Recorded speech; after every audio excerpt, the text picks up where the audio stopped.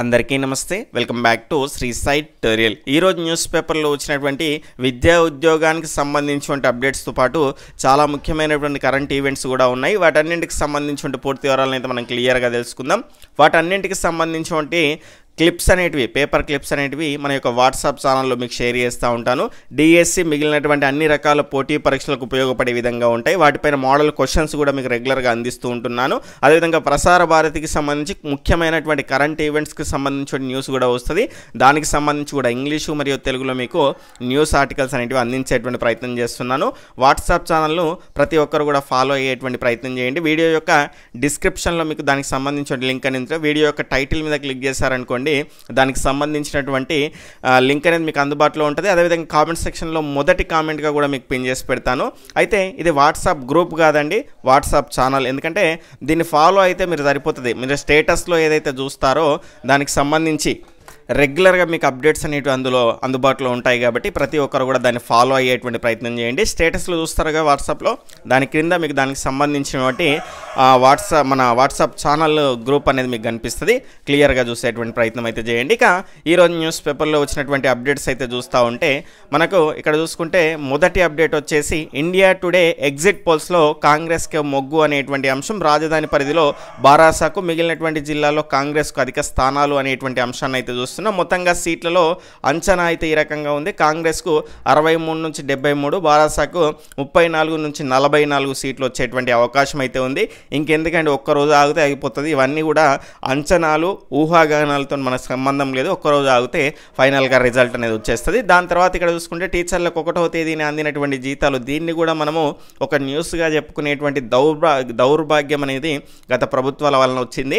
ఇక next update చూసుకుంటే press note అనేది ఒకటి ఇచ్చిందండి. అంటే ఇక్కడ TOSS Telangana open school society హైదరాబాద్కి సంబంధించి అయితే మనకు దీనికి సంబంధించి డిసెంబర్ పదకొండు రెండు వేల ఇరవై మూడు వరకు అయితే దీనికి సంబంధించి అప్లికేషన్కు రెండు వేల ఇరవై మూడు ఇరవై నాలుగు అకాడమిక్ ఇయర్కు సంబంధించి అయితే డేట్ అయితే ఎక్స్టెండ్ చేయడం జరిగింది.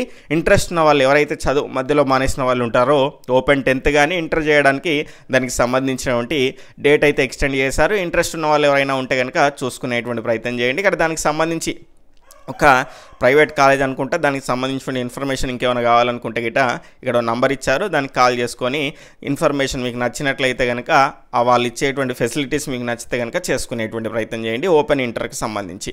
నెక్స్ట్ అప్డేట్ చూసుకుంటే మనకు ఓటుకు డబ్బు ఇవ్వలేదని వ్యక్తి ఆత్మహత్య యత్నమాట ఇక్కడ చూసుకుంటే మరీ దారుణంగా ఉందండి పరిస్థితి చూసుకుంటే. తెలంగాణ ఎన్నికల్లో ఓటుకు డబ్బులు తక్కువ ఇచ్చారనేటువంటి మనస్తాపంతో ఓ వ్యక్తి ఆత్మహత్య అయితే ఆత్మహత్య యత్న యత్నానికైతే పాల్పడ్డారు. CM KCR TP TPCC chief Revanth Reddy బరిలోకి దిగినటువంటి కామారెడ్డి నియోజకవర్గంలో ఈ ఘటన అయితే జరిగింది.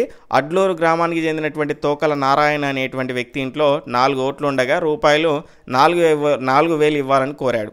ఓ పార్టీ వారు రూపాయలు రెండు వేలు ఇచ్చారు దీంతో ఓటు వేయకుండా పెట్రోల్ పోసుకొని ఆత్మహత్య యత్నం అయితే చేశాడు. చూడండి పరిస్థితి ఎంత దారుణంగా ఉందో.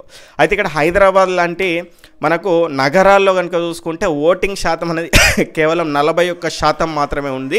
అదొక సిగ్గుచేటుగా మనం చెప్పుకోవచ్చు. ఎందుకంటే పల్లెలు బారు తీరి ఓట్లు వేయడానికి అదొక పండగ తరలు వస్తే వీళ్ళు ఇంట్లో ఉండి ఆ హాలిడేని ఎంజాయ్ చేసిండ్రండి. మొద్దులు అసలు ఎంత దరు దౌర్భాగ్యం అంటే మనది. ఇక్కడ ఓటు వేయకుంటే శిక్ష జరిమానా. పలు దేశాల్లో ఓటు వేయడం పౌరుల బాధ్యత అనేటువంటి అంశాన్ని అయితే చూస్తున్నాం. ఎన్నికల్లో ఓటు వేయనటువంటి వారికి కొన్ని దేశాల్లో జరిమానా విధిస్తారు. మరికొన్ని దేశాల్లో నేరస్తులుగా పరిగణించి శిక్షలు వేస్తారు. ఆస్ట్రేలియాలో పద్దెనిమిది ఏళ్ళు నిండినటువంటి ప్రతి ఒక్కరు కూడా ఓటు వేయాల్సిందే. ఓటు వేయనటువంటి వారికి ఆ దేశ కరెన్సీ ప్రకారం ఇరవై డాలర్ల జరిమానా అనేది విధిస్తారు.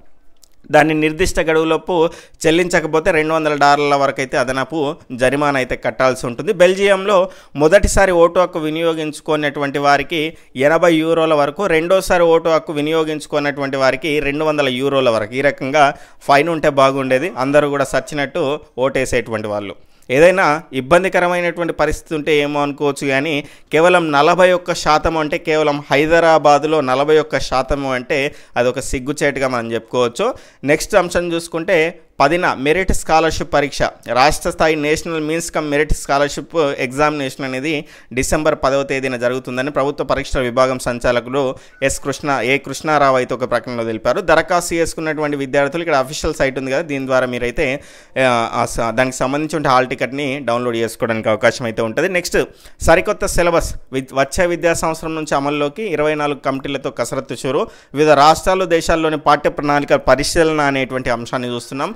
రాష్ట్రంలో పాలిటెక్నిక్ విద్యకు వచ్చేటువంటి విద్యా సంవత్సరం రెండు వేల ఇరవై నాలుగు ఇరవై ఐదు నుంచి కొత్త సిలబస్ అమలు కానుంది. తొలిసారిగా విదేశాల్లో డిప్లొమా చదువులకు అమలు చేస్తున్నటువంటి పాఠ్య ప్రణాళికలను కూడా పరిశీలించి వచ్చే ఐదేళ్ళ కోసం నూతన సిలబస్ను రూపొందించనున్నారు. ఈ మేరకు వచ్చే ఏడాది జూన్ లేదా జూలైలో ప్రారంభమయ్యేటువంటి పాలిటెక్నిక్ తొలి సంవత్సరం విద్యార్థులకైతే కొత్త పాఠ్య ప్రణాళిక అమలవుతుంది అనేటువంటి అప్డేట్ని అయితే చూస్తున్నాం. పాలిటెక్నిక్ వాళ్ళకి సంబంధించి ఇక్కడ సిలబస్ అయితే మారేటువంటి అవకాశం అయితే ఉంది. నెక్స్ట్ టీచర్ అవుదామనుకుని రెండు చేతులు లేకపోవడంతో జీవితంలో ఏం సాధించలేనని ఒకప్పుడు అనుకున్నానని ఇక్కడ పారా ఆర్చర్ శీతల్ దేవి అయితే చెప్పింది. ఇటీవల సంచలనంగా మారినటువంటి అంశం అందరికీ తెలిసిందే. నవంబర్ ఇక్కడ నంబర్ వన్ అయినటువంటి నేపథ్యంలో శీతల్ దేవి ఆమె ఇలా స్పందించింది. జీవితంలో ఏది సాధించలేని అనుకునే దాన్ని కానీ ప్రతి ఒక్కరు కూడా ఎంతో సాయం చేశారు. అందుకే ఈ స్థితిలో నిలవగలిగా అని శీతల్ అయితే చెప్పింది. ఒకప్పుడు ఉపాధ్యాయురాలిని కావాలనేటువంటి ఆలోచన ఉండేదని కానీ అనుకోకుండా క్రీడల్లోకి వచ్చినట్లయితే పేర్కొంది. ఉపాధ్యాయురాలని కావాలనుకుని కోరుకునేదాన్ని. కానీ క్రీడల్లో వచ్చా కోచులు అభిలాష అదేవిధంగా కుల్దీప్ ఎంతో మద్దతుగా నిలిచారు. ఇప్పుడు నా లక్ష్యంతో భారత్కు ఎక్కువ పథకాలు గెలవడం పైనే ఉంది అని సీతలైతే అయితే చెప్పుకొని రావడం జరిగింది. నెక్స్ట్ అంశం చూసుకుంటే రెండు వేల ముప్పై నాటికి ఉద్గారాల తీవ్రతను నలభై శాతం తగ్గించడమే భారత్ లక్ష్యంగా మనకు సిఓపి కాప్ ట్వంటీ ఎయిట్ ప్రపంచ వాతావరణ సదస్సు అనేది యుఏఈలో మనకు జరగడం జరిగింది. ఇక్కడ యునైటెడ్ అరబ్ ఎమిరేట్స్లోనైతే ఈ అంశం అయితే లో భాగంగా ఇక్కడ ప్రధానమంత్రి నరేంద్ర మోడీ గారు అయితే రెండు వేల ముప్పై నాటికి ఉద్గారాల తీవ్రతను నలభై ఐదు శాతం తగ్గించడమే భారత్ యొక్క లక్ష్యము అనేటువంటి అంశాన్ని అయితే ప్రస్తావించడం జరిగింది. అయితే ఇది ఎక్కడ జరిగింది అంటే కాప్ ట్వంటీ ఎయిట్ సదస్సు ప్రధాని మోదీ ఈ రకంగా పిలిపివ్వడం జరిగింది. భారత్లో ప్రస్తుతం ఉన్నటువంటి ఉద్గారాల తీవ్రతను రెండు వేల ముప్పై నాటికి నలభై ఐదు శాతం తగ్గించడమే తమ లక్ష్యమని ప్రధాని మోదీ అయితే ప్రకటించారు. అలాగే శిలాజ ఏతర ఇంధనం వాటాను యాభై శాతానికి పెంచాలని నిర్ణయించుకున్నట్లు తెలిపారు. యునైటెడ్ అరబ్ ఎమిరేట్స్లో దుబాయ్ వేదికగా జరుగుతున్నటువంటి కాప్ ట్వంటీ ఎయిట్ ప్రపంచ వాతావరణ సదస్సు భారత ప్రధానమంత్రి నరేంద్ర మోడీ అయితే ఈ రకంగా పాల్గొని చెప్పడం జరిగింది. ఇందులో భాగంగా మనం యుఏ అధ్యక్షుని కూడా చూడొచ్చు. Sheikh Mohammed bin Zayed Al Sahani అనేటువంటి అంశం. అదేవిధంగా ఐరాస ప్రధాన కార్యదర్శి ఆంటోనియో గుటిరస్ ప్రధాన మోదీ వీరిద్దరితో ఉన్నారు. ఆ రకంగా న్యూస్ పేపర్స్ చదవడం ద్వారా ఈ రకంగా మనము అధ్యక్షులకు సంబంధించిన పేర్లు కానీ ప్రధాన కార్యదర్శులకు సంబంధించిన పేర్లు కానీ రెగ్యులర్గా అప్డేట్లో ఉండడానికి అవకాశం అయితే ఉంటుంది. ఇక భూగర్భ జలకళ తెలంగాణలో ఎనిమిది పాయింట్ ఏడు తొమ్మిది శాతం పెరుగుదల అనేటువంటి అంశం దేశవ్యాప్తంగా రెండు పాయింట్ ఆరు రెండు శాతం వృద్ధి ఏపీలో రెండు పాయింట్ రెండు సున్నా శాతం. దేశవ్యాప్తంగా భూగర్భ జలాలు రెండు పాయింట్ ఆరు రెండు శాతం పెరిగినట్టు కేంద్ర జలశక్తి శాఖ వెల్లడించడం జరిగింది. ఇక్కడ మొత్తంగా గత ఏడాది నాలుగు వందల ముప్పై ఏడు పాయింట్ ఆరు శతకోటి ఘనపు మీటర్ల మేర ఉన్నటువంటి భూగర్భ జలాలు ఈ ఏడాది కనుక చూసుకుంటే నాలుగు వందల నలభై తొమ్మిది పాయింట్ సున్నా ఎనిమిది బీ బీసీఎంలకు చేరినట్లయితే చెప్తున్నారు? అయితే ఇక్కడ చూసుకుంటే మనకు దేశంలో అత్యధికంగా తెలంగాణ పశ్చిమ బెంగాల్ అస్సాం ఛత్తీస్గఢ్ కర్ణాటక గుజరాత్ బీహార్లలో భూగర్భ జలాలు పెరిగాయి అనేటువంటి అంశాన్ని అయితే చూస్తున్నాం. అయితే ఇక్కడ తెలంగాణకు సంబంధించి ఎనిమిది పాయింట్ ఏడు తొమ్మిది శాతం అయితే పెరిగింది అనేటువంటి అప్డేట్ని అయితే చూడండి. దేశవ్యాప్తంగానైతే మనకు భూగర్భ జలానికి సంబంధించిన వృద్ధి రెండు పాయింట్ ఆరు రెండు. తెలంగాణలో చూసుకుంటే ఎనిమిది పాయింట్ ఏడు తొమ్మిది. చాలా ముఖ్యమైనటువంటి గణాంకాలు చూసుకునేటువంటి ప్రయత్నం అయితే చేయండి. ఇక నెక్స్ట్ అప్డేట్ చూసుకుంటే మనకు వన్యప్రాణుల వేట నిరోధానికి ప్రత్యేక డ్రైవ్ ప్రారంభించినటువంటి అటవీ శాఖ. వన్యప్రాణుల వేటను నిరోధించడానికి క్యాచ్ ది ట్రాప్ పేరుతో ప్రత్యేక డ్రైవ్ను అయితే రాష్ట్ర వ్యాప్తంగా నిర్వహించారు. ఇటీవల క్యాచ్ ది డ్రైవ్ ట్రాప్ పేరుతో ప్రత్యేక డ్రైవ్ని ఏ రాష్ట్రంలో నిర్వహించారు అంటే తెలంగాణ అనేటువంటి అంశాన్ని అయితే మీరు గుర్తుపెట్టుకోండి. అటవీ శాఖ అయితే ఈ రకంగా తెలిపింది. చట్టవిరుద్ధ వేట అందుకోసం ఉపయోగించేటువంటి వస్తువులకు సంబంధించిన సమాచారం తెలిస్తే ఇక్కడ సంబంధిత నంబర్లకు కాల్ చేయాలి అనేటువంటి అంశాన్ని అయితే ఇవ్వడం జరిగింది.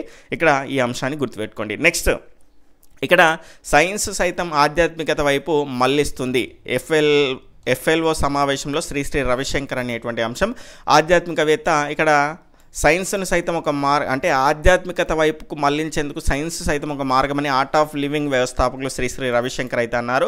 సైన్స్ ఆధ్యాత్మికత ఒకదానికొకటి అనుసంధానమైనదని తెలిపారు. ఫిక్కీ లేడీస్ ఆర్గనైజేషన్ ఆధ్వర్యంలో morning of wisdom where science and spirituality sorry అండి ఎంబ్రెసెస్ పేరిటైతే శుక్రవారం బంజారా హిల్స్లోని తాజ్ డెక్కన్లో జరిగింది. ఇక్కడ చూసుకుంటే మనకు దీనికి సంబంధించిన అంశం ఆ హైదరాబాద్కు సంబంధించిన కేంద్రంగా జరిగింది కాబట్టి దీన్ని క్లియర్గా మనం గుర్తుపెట్టుకోవాల్సినటువంటి అవసరం అయితే ఉంటుంది. నెక్స్ట్ అంశం చూసుకుంటే ఇక్కడ జికా వైరస్కు సూది లేని టీకా.